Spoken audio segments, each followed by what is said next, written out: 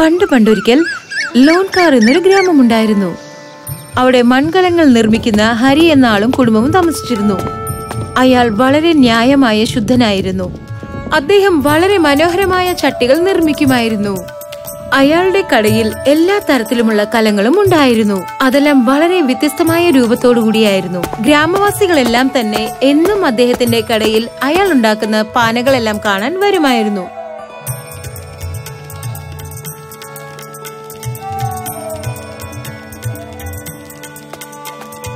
നമസ്കാരം മാമ. മാമനിപ്പോ ചെയ്യുന്ന കല ഉണ്ടല്ലോ അതെനിക്ക് തരാമോ? ഓ ഇതോ? ഇല്ല മോളെ ഇത് ഞാൻ വിക്കില്ല. ഇത് എന്റെ മോന് വേണ്ടി ഉണ്ടാക്കുന്നതാ. ഉടൻ തന്നെ അവന്റെ കല്യാണം വരികയാണ്. അങ്ങനെയാണോ? വളരെ നല്ല കാര്യം. പക്ഷെ വിഷമിക്കണം മോളെ. മോക്ക് ഇഷ്ടപ്പെട്ട ഒരുപാട് കലങ്ങൾ മാമന്റെ കയ്യിലുണ്ട്. മോൾ ഇവിടെ തന്നെ നിൽക്ക്. ഞാൻ എടുത്തുകൊണ്ട് വരാം. പൂക്കളുടെ ചിത്രങ്ങളുള്ള നല്ലൊരു പാന ഹരി എടുത്തോണ്ട് വന്നു. ആ ഇത് വളരെ മനോഹരമായിരിക്കുന്നു. ഇത് തന്നെ എടുത്തോളൂ മോളെ. ഇത് വളരെ നന്നായിരിക്കുന്നു. നല്ല ഭംഗിയുണ്ട്. എനിക്ക് ഒത്തിരി ഇഷ്ടമായി നല്ലത് വരട്ടെ മോളെ. ഒരു നിമിഷം. നീ എനിക്ക് ഇരുപത് കാശുകളാണ് തന്നത്. പക്ഷേ ഈ കാലത്തിന് അഞ്ച് കാശേ ഉള്ളൂ മോളെ. ആണോ? വളരെ സന്തോഷം. നിങ്ങൾ വളരെ നല്ലവനാണ് കേട്ടോ. വളരെ നന്ദി മോളെ. അതിനുശേഷം അദ്ദേഹം വീണ്ടും അദ്ദേഹത്തിന്റെ കലം പെയിന്റ് ചെയ്യാൻ തുടങ്ങി. ആ പണിക്ക് ശേഷം അദ്ദേഹം തിരിച്ചു അങ്ങേരുടെ വീട്ടിലേക്ക് ചെന്നു.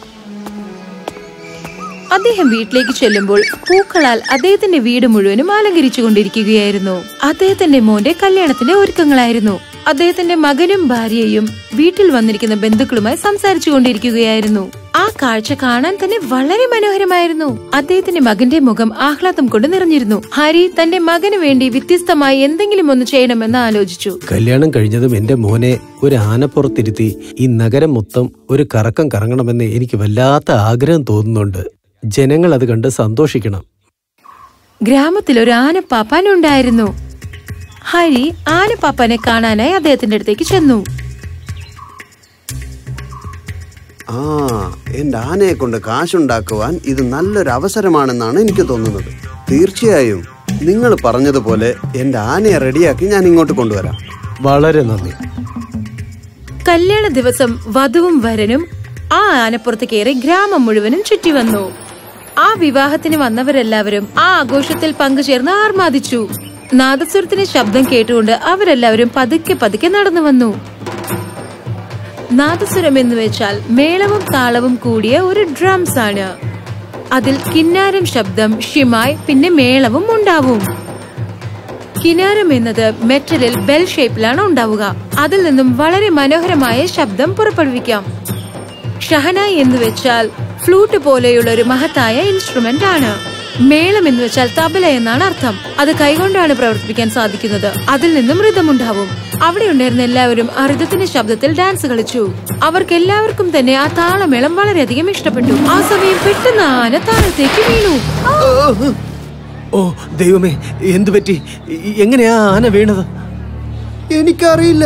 ഇത്രയും നേരം ഒരു കുഴപ്പമില്ലായിരുന്നു നിങ്ങൾ രണ്ടുപേർക്കും ഒന്നും പറ്റിയില്ലല്ലോ അല്ലേ? ഞങ്ങൾക്കൊരു കുഴപ്പമില്ല. ആ അപ്പുവന വളരെ ദയനീയമായി താഴത്ത് വീണു കിടന്നു. അവിടെ നിന്നിരുന്ന എല്ലാവർക്കും അപ്പുവന്റെ അവസ്ഥ കണ്ട് അവനോട് ഒരുപാട് സഹതാപം തോന്നി. പാവം ആന. ഒട്ടും ബലമില്ലെന്ന് തോന്നുന്നു. അപ്പോൾ ഒരാൾ അപ്പുവിന് കുടിക്കാനായി കുറച്ച് വെള്ളം കൊണ്ടുവന്ന് കൊടുത്തു. അപ്പു ആ വെള്ളം കുടിച്ച് ഒന്ന് ഉഷാറായി. അവന്റെ കാലിൽ മുറിവുള്ളതിനാലായിരുന്നു അവൻ താഴത്തേക്ക് വീണത്.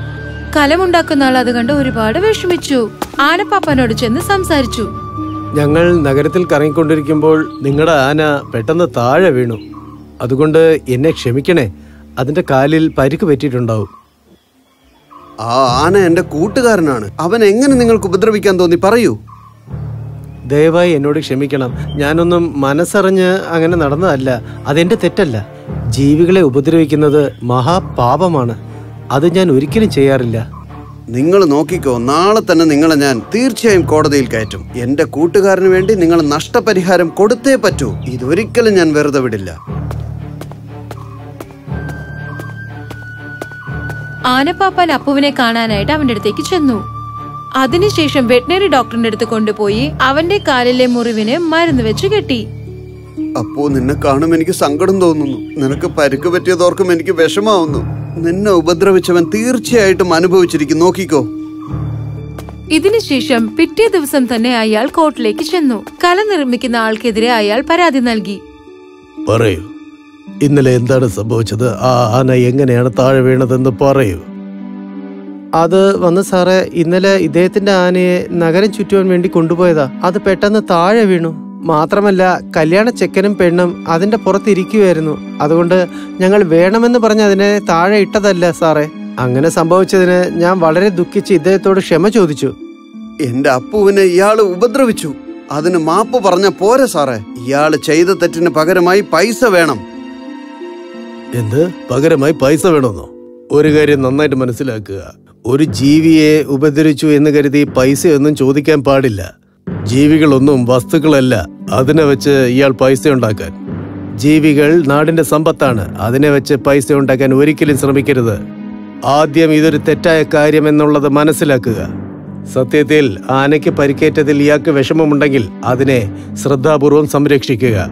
ആന താഴെ വീണ് അതിന് മുറിവേറ്റിട്ടുണ്ടെങ്കിൽ അതിന് കാരണം അത് ബലഹീനമായി ഇരുന്നത് കൊണ്ട് മാത്രമാണ് അതെ സാറേ. എനിക്ക് നല്ലോണം അറിയാം. ഞാൻ തന്നെ വേണം എന്റെ ആനയെ നല്ലപോലെ നോക്കാൻ. ശരി പറയൂ.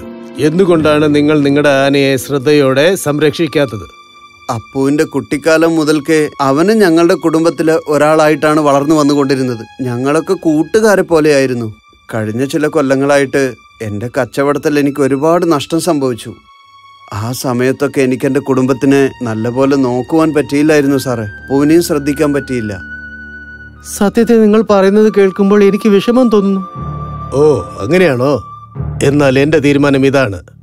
മിസ്റ്റർ ഹരി നിങ്ങളെ ഈ കേസിൽ നിന്നും വിമുക്തനാക്കുകയാണ് ഞാൻ. കാരണം നിങ്ങൾ വേണമെന്ന് പറഞ്ഞ് ആ ആനയ്ക്ക് മുറിവേൽപ്പിച്ചില്ല. എന്നാലും നിങ്ങളുടെ മുന്നിൽ വെച്ച് ഒരു വന്യമൃഗത്തിന് മുറിവേറ്റത് കൊണ്ട് നിങ്ങൾ അദ്ദേഹത്തിന് ആയിരം രൂപ പിഴയായി നൽകേണ്ടതാണ്.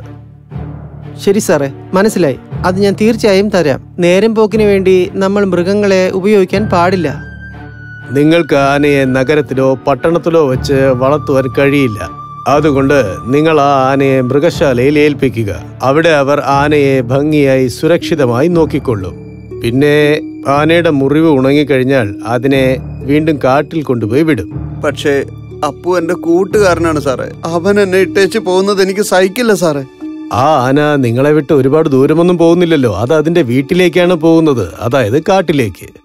അത് അവിടെയാണ് ജീവിക്കേണ്ടത്. എന്നെ വിശ്വസിക്കൂ. അതാണ് ആനയ്ക്ക് നല്ലത്. വന്യമൃഗങ്ങൾ എപ്പോഴും കാട്ടിലാണ് ജീവിക്കേണ്ടത്. അതാണ് പ്രകൃതി നിയമം. എങ്ങനെ മനുഷ്യരെ കൊണ്ട് കാട്ടിൽ പോയി ജീവിക്കാൻ കഴിയില്ലയോ? അതുപോലെ തന്നെ വന്യമൃഗങ്ങൾക്ക് മനുഷ്യരുടെ കൂടെ ജീവിക്കാൻ കഴിയില്ല. അതാണ് എല്ലാ ജീവരാശികൾക്കും നന്ന്. അതുകൊണ്ട് നമ്മൾ പ്രകൃതിയെ മാനിച്ച് ജീവിക്കാൻ പഠിക്കണം. പക്ഷേ സാറേ ഞാൻ ഇങ്ങനെയൊന്നും ആലോചിച്ചിട്ട് പോലുമില്ല. നിങ്ങളാണ് എന്റെ കണ്ണ് തുറന്നത്. ഒരുപാട് നന്ദി. ഞാൻ അപ്പുവിന്റെ കാര്യത്തിൽ വളരെ സ്വാർത്ഥനായിരുന്നു. നിങ്ങൾ തന്നെ പറയൂ സാറേ. എന്നെ കളഞ്ഞിട്ട് പോയ അവൻ എന്നെ മറക്കുമോ വീണ്ടും എനിക്ക് അവനെ കാണാൻ പറ്റില്ല സാറേ? ഒരു കാര്യം നന്നായി ഓർത്തു. ആനകളുടെ മികവ് എന്താണെന്നറിയാമോ? അതിന് ഒരിക്കലും ഒന്നിനെയും മറക്കാൻ കഴിയില്ല.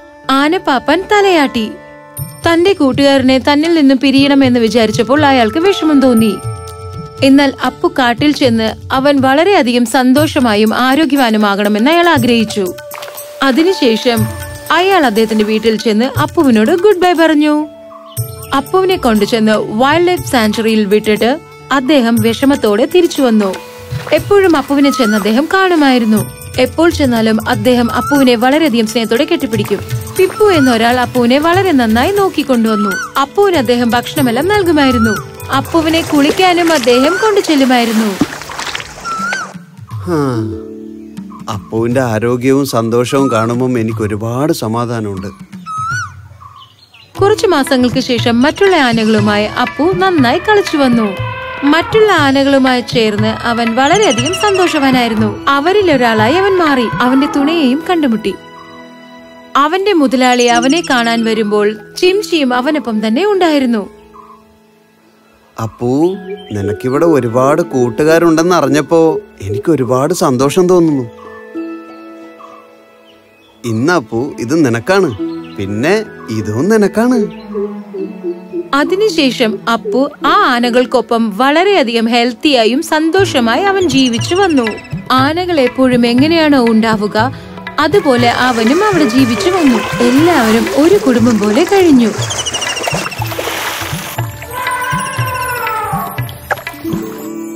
ആനപ്പാപ്പൻ ചട്ടികളെല്ലാം നിർമ്മിക്കുന്ന ആളുമായി ചേർന്ന് അവിടെ ജോലി ചെയ്യാൻ തുടങ്ങി. അവർ രണ്ടാളും ചേർന്ന് കലങ്ങളെല്ലാം വിൽക്കാൻ തുടങ്ങി. അതിനുശേഷം അയാൾ ആനയുടെ ശില്പങ്ങൾ ഉണ്ടാക്കി വിൽക്കാൻ തുടങ്ങി. അതുകൂടാതെ മൃഗങ്ങളെയെല്ലാം നമ്മൾ വളരെയധികം നന്നായി നോക്കണം അതുങ്ങളെ വിഷമിപ്പിക്കാൻ പാടില്ല എന്ന് എല്ലാവരോടും പറഞ്ഞുകൊണ്ടുവന്നു മൃഗങ്ങളെ ഒരിക്കലും നമ്മൾ വിഷമിപ്പിക്കാൻ പാടില്ല. ഈ കഥയിൽ നിന്നും നമ്മൾ എന്താണ് മനസ്സിലാക്കിയത്? മൃഗങ്ങൾ എപ്പോഴും പ്രകൃതിയുമായി ഇണങ്ങി ജീവിക്കുന്നതാണ് നല്ലത്.